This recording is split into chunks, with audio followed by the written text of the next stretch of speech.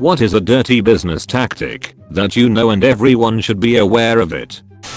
If you're buying a used car and it's parked over a puddle, they don't want you to look underneath. Mattress stores that have the find it anywhere else for cheaper, you get your money back.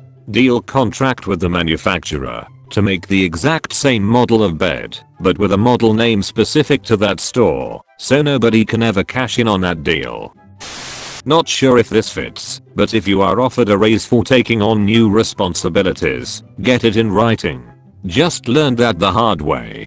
Been there myself. Manager promoted me, said pay raises will come soon based on performance, then suddenly he wasn't my manager anymore. No paper trail of the promotion, or promised pay raises, but I was still stuck with the extra responsibility. Every month and every 4 weeks sound similar, but are different. Paying every month gets you 12 payments, every 4 weeks gets you 13. Edit. Thanks for top comment. Just something my dad taught me when I first got a debit card.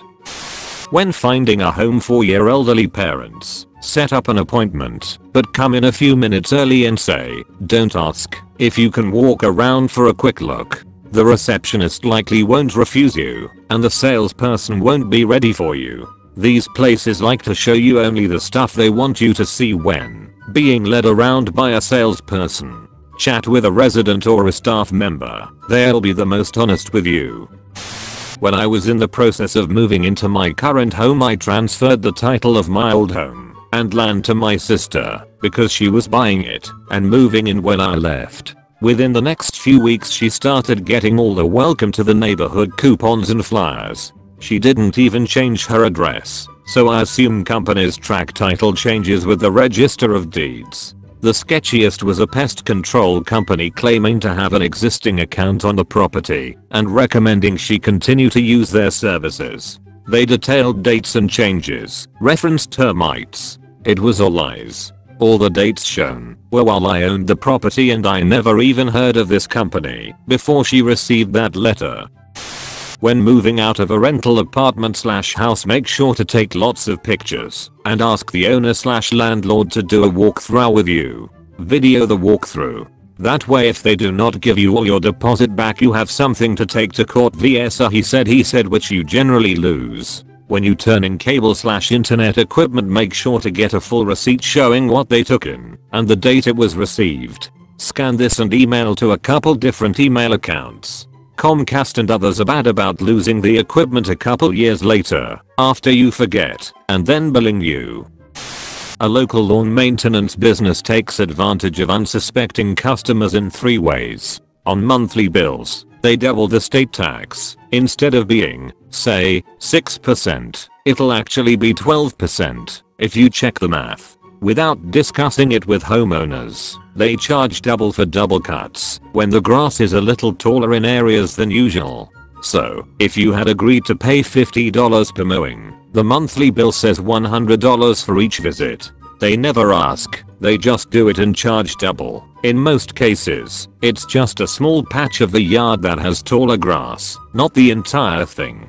They're supposed to mow once per week, but without telling customers first, they start mowing every 5 days, which means they get to charge for more mowing visits per month than necessary.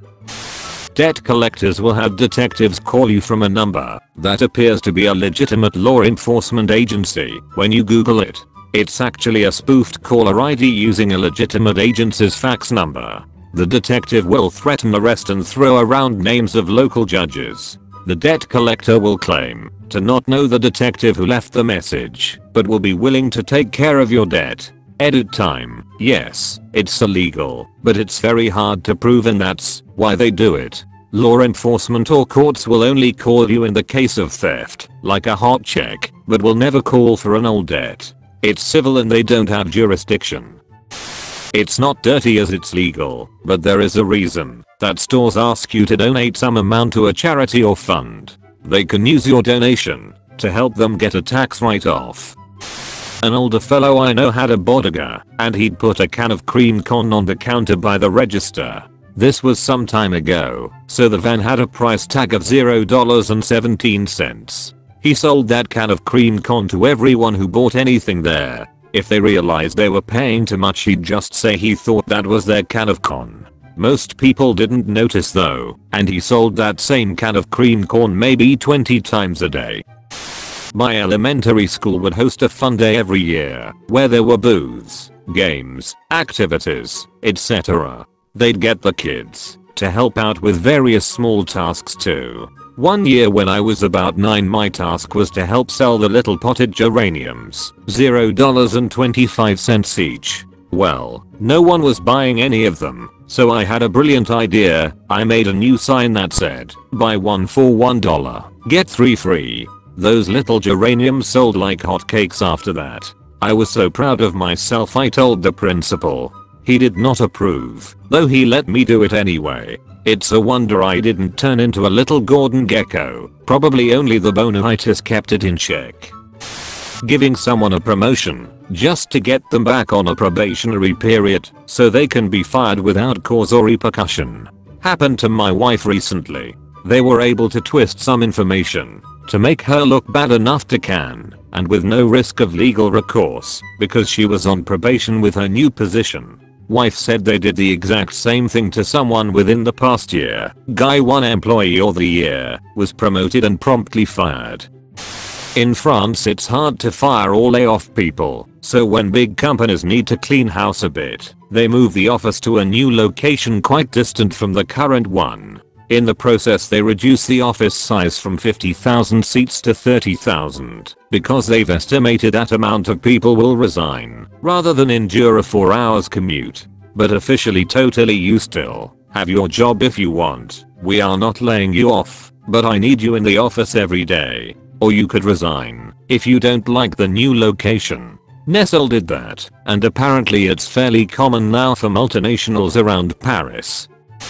The U1 TV slash $5,000 slash base boat. Scams at car dealerships. Generally, you get a flyer in the mail that says scratch off X to see if you won. You always win the biggest prize, but when you read the fine print, you actually only win the right to spin some wheel or put your name in a box for a drawing. The employees friends and family always actually get the boat slash TV slash cash. Your win is just a tactic to get you into the dealership. A fun thing to do is waste the manager's time. Go to the dealership, price flyer in hand. Find a nice car. One with all of the options. Ask for every dealer add-on they offer and tell them you don't want to waste time negotiating. You have cash. Talk to the manager and keep going back to him slash her. Insist on a test drive with the manager convince them you want to buy the car, and get to the paperwork phase. Then, just before you sign, inform them that they haven't sold you a car. They've sold you on the idea of buying a car. Get the manager's card and tell them you'll be dropping their card in a hat with other dealership managers cards. A card will be selected at random and that dealership manager will be notified by mail in 4 to 6 weeks. Let them know that the actual car you buy may not be the one used in your promotion. I know a guy who does pest control who specializes in raccoon removal. He takes the raccoons from one house in one neighborhood, then takes and releases it in another neighborhood then waits for the people there to reach out to him to remove the raccoon from their home. When I worked at H&M we used to do some sneaky stuff with setting up the mannequin slash displays. Whenever we had a supply of shirts that were really ugly and weren't selling well, we'd put the ugly item on the mannequin and it would sell out very quickly. This isn't necessarily the dirtiest trick, but it worked pretty well for pushing really ugly clothes. The higher priced items like prime rib and seafood is typically at the end of the buffet line and cheaper more filling options like bread and mashed potatoes are at the front. They hope you fill up your plate space slash stomach space by the time you get to the high ticket items. People lie about salary, starting pay, raises, etc. all the time. Learn to play hardball. For a multi-million dollar company, another $10 $20,000 is nothing. My office had a lockdown on raises over 3% and going into an annual review I learned that my boss had lied and underpaid me for the starting position. He claimed they had a $60,000 budget for the position and couldn't exceed it. I found out the last person in the job got paid $75,000. So I got an offer from a competitor for over double my current pay, knew they couldn't afford to lose me with the amount of work coming in, and slid my offer letter over to my boss during the review. They matched the offer, gave me a $10,000 bonus up front, and even cut me into a percentage of a business line. The meeting was awkward as hell, and it was difficult to do, but it's business. A locksmith I knew would rekey locks using old worn down pins, which caused the locks to stop working prematurely without the pins being crisp. Eventually the lock jams or the key quits working.